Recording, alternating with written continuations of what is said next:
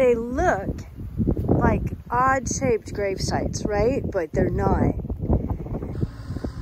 It's digging holes. He's in his happy place. Let me watch and see if y'all see it.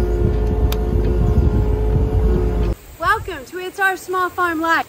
We hope you enjoy our new series. We bought the farm.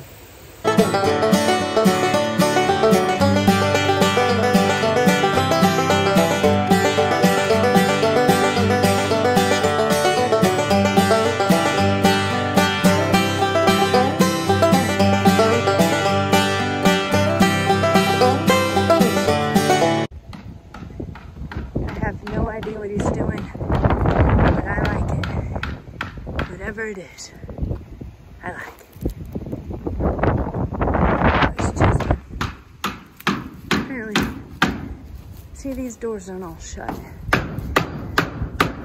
Can't imagine why.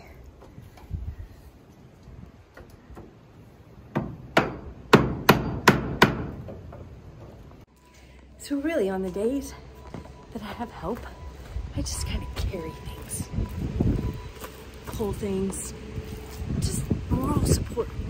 Tomorrow when I'm here by myself, I'm gonna do. There's. Oh, I know, that's the jinkiest stepladder ever.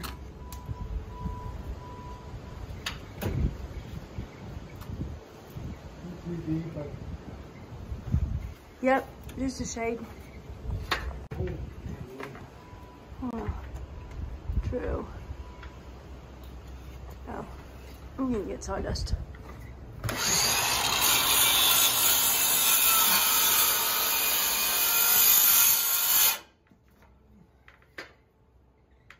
Sweet.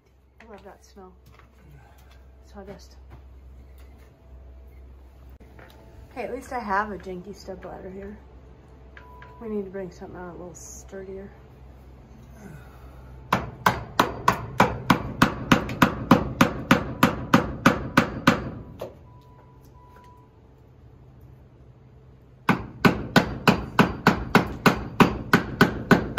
I probably told you wrong. I bet your blade wasn't deep enough. That was on me.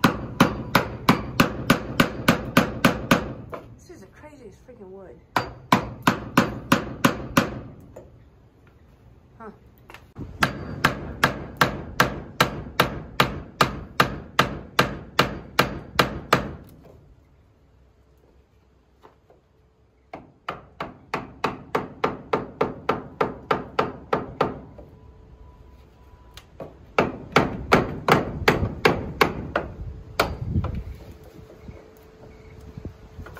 Look at that. Oh, I didn't Woo! Daddy! So now we can start our septic stuff. I'm not gonna put the guy on camera because that's not fair. Nobody wants to come and just be on camera, but he's over there. I'm pretending to be the house.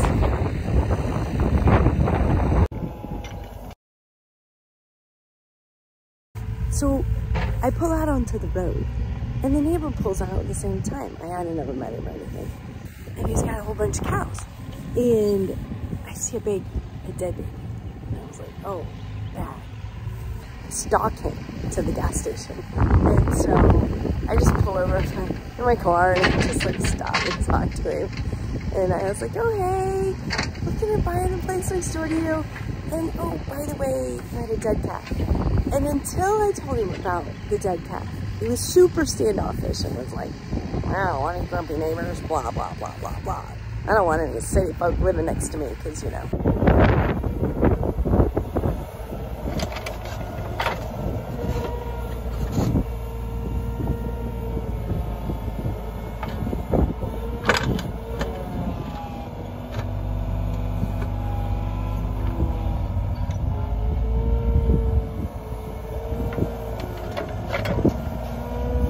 So the reason that I tell you that story is to tell you this story. I was driving home last night and I was like, oh crap, a cow died giving birth to her calf right along the road over here. And how do I stop and tell him? Because I didn't get his name and his like info. And his gate's locked. and I don't know how to get up. And it's a long drive up to his house. So I feel really bad because I happened to time that another cow died. No, I'm not digging grapes for my my neighbor's cows that keep dying. These are the test holes for the septic.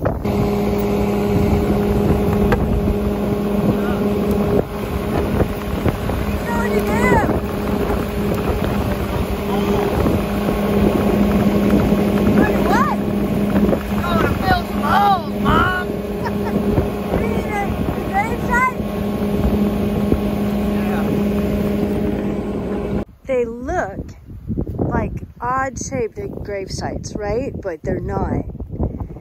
They're for the septic. Saying some final last words, honey? Paying your respects?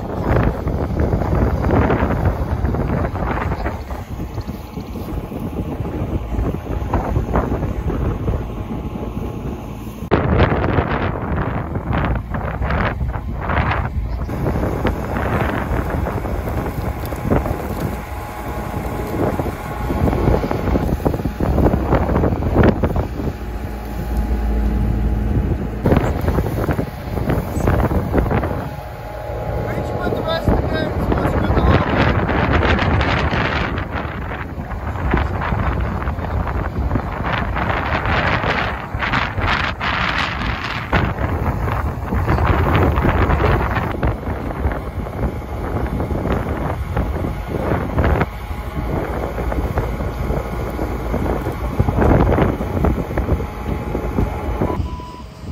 I'll leave them be for a minute. I got things to do, places to go, pizza to eat. There's one more thing I just shake my head at and go, huh. See it? Don't know.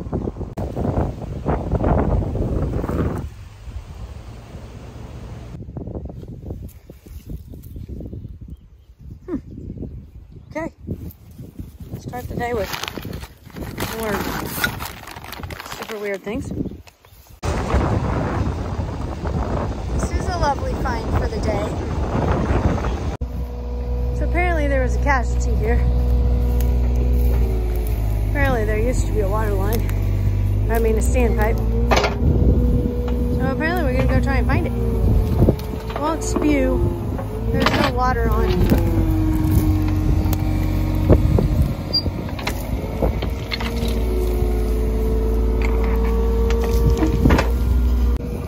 ever elusive water lines. Always tough to find when you're not the one that put them in. Never guess which way they come from. Never guess which way they go. How deep they are.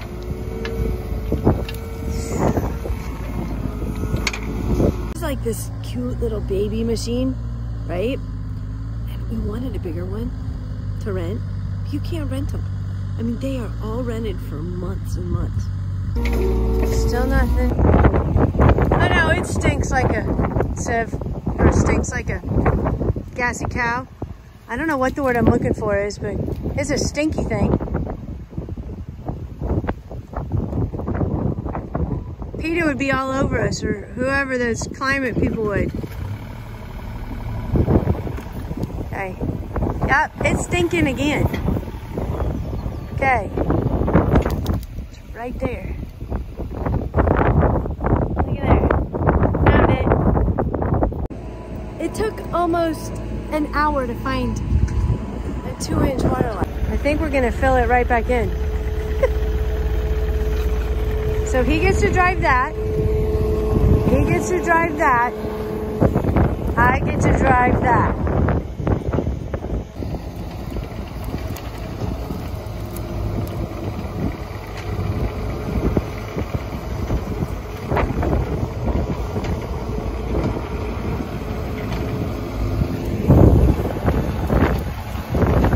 and surrounded by awesomeness.